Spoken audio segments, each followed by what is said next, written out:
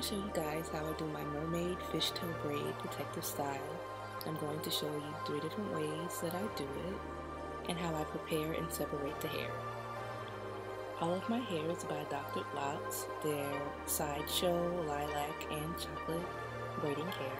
I'm separating the lilac hair into two sections just a little bit so it can be an accent color.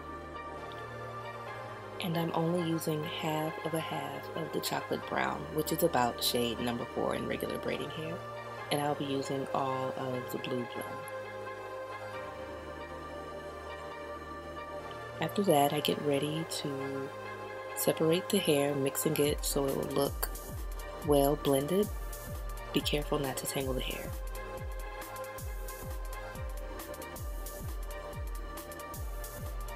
Blend it as many times as you feel necessary to get it as mixed as you would like.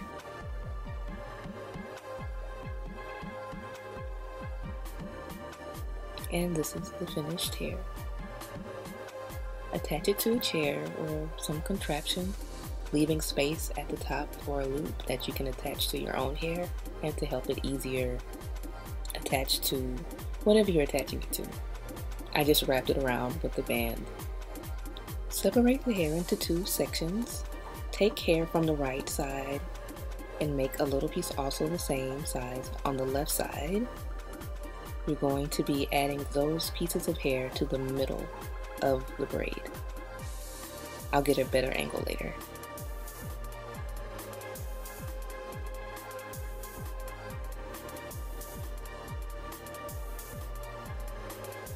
Be careful not to tangle the hair. Right side to the middle left.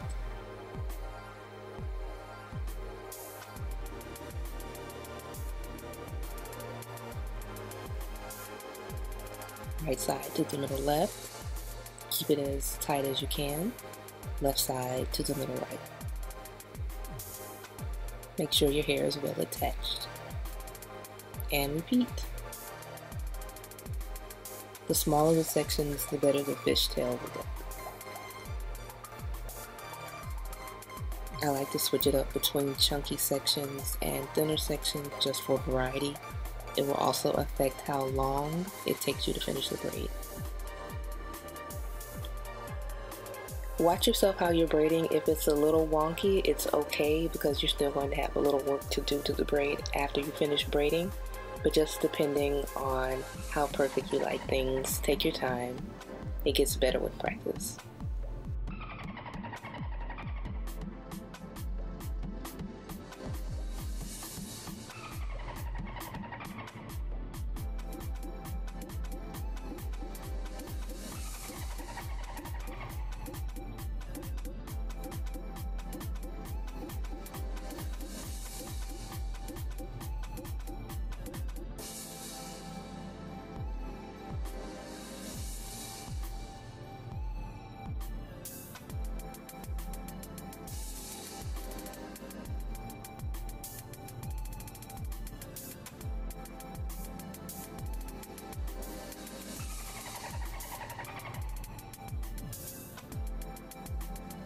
About here now you can see the lilac coming in as just a nice highlight in the braid with it being predominantly blue and also using the darker hair gives the illusion of your real hair if it's darker coming all the way to the end of the braid without it being so stark in contrast to just pure color.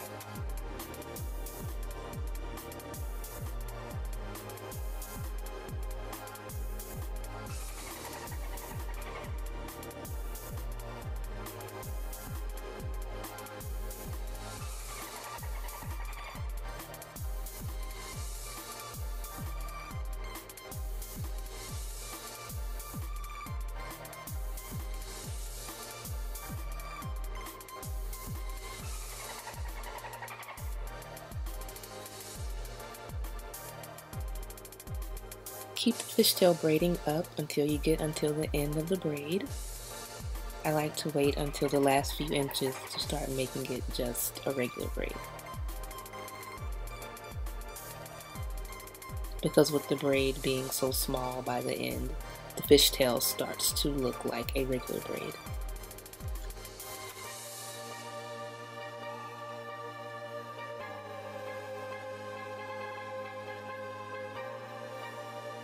After you finish with your braid, the next step is to widen it by gently pulling it apart. Some pieces may start to stick out, but that's okay, you'll take care of it later. Work your way all the way down to the bottom to give the braid a little more body from being tightly braided. And depending on the softness of the hair, you definitely have to give it a little work and be gentle with it. Do this as many times as desired until the braid looks like how you would like it to look. Clip off the straight ends.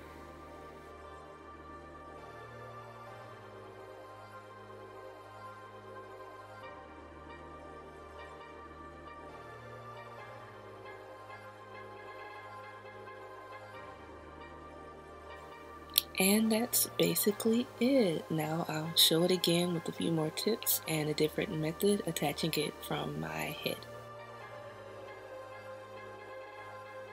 Attaching it from my head, leaving the space that we left in the beginning to attach it with bobby pins. After it's secure enough with bobby pins, I would also recommend going over it with a hairband. My hair is just in a little side bun, it's in about seven twists that I've made into just a little bun and covered with my scarf. After it's secure enough, smooth the hair and separate it into two sections like before. Make sure that the hair is secure because you don't want it to fall out while you're in public.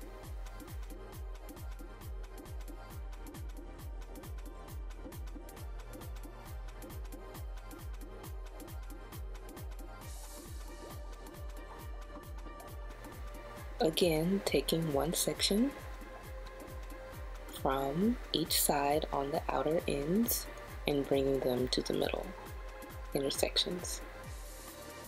Small section, left side, to the inner right, right section, outer into the inner left.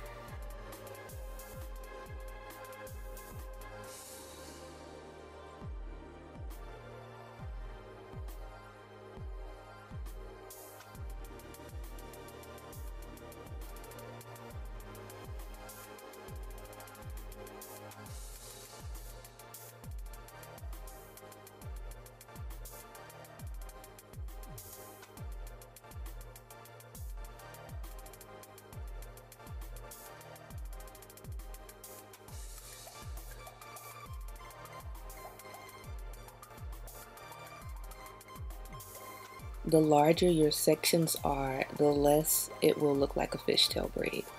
If you begin to make your sections too large, it will end up looking just like a regular three strand braid, and then all of your efforts will be for nothing. Other than having a nice three strand braid.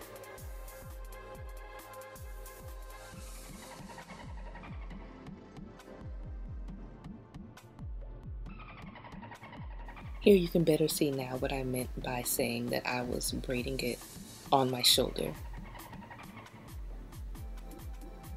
Just taking the sections, laying them down versus really braiding per se. I'm sure you're getting the gist of this by now, I hope. So we're going to speed this up a little bit and continue just watching go over and over to the middle, sides, as I lay them down and we'll switch it up a little bit on the next section with how I'm braiding.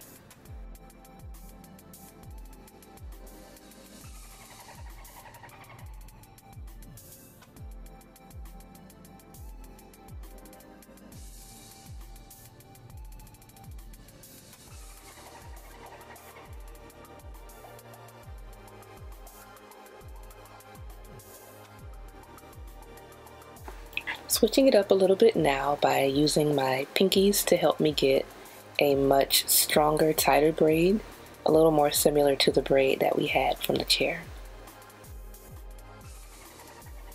I overall prefer this look to the looser braid. It also probably helps have less flyaway strands. And again, I'm using my fingers to help bring it over to keep the hair tighter.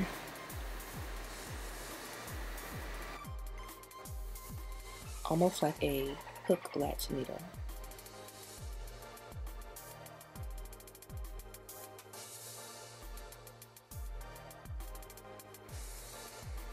Even the shape of the braid is different when you make it tighter.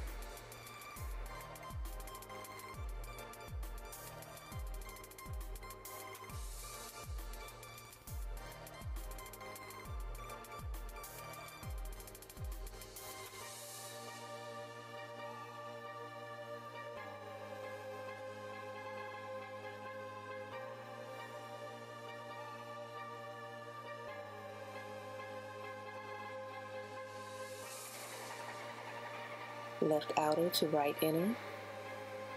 Scratch your face.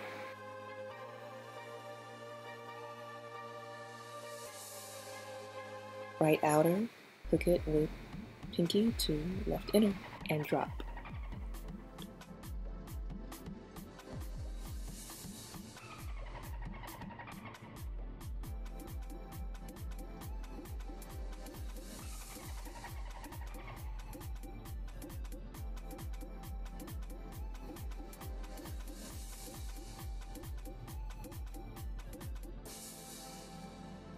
I finished up the rest of the braid similar to the last one and now just going through cleaning it up a bit.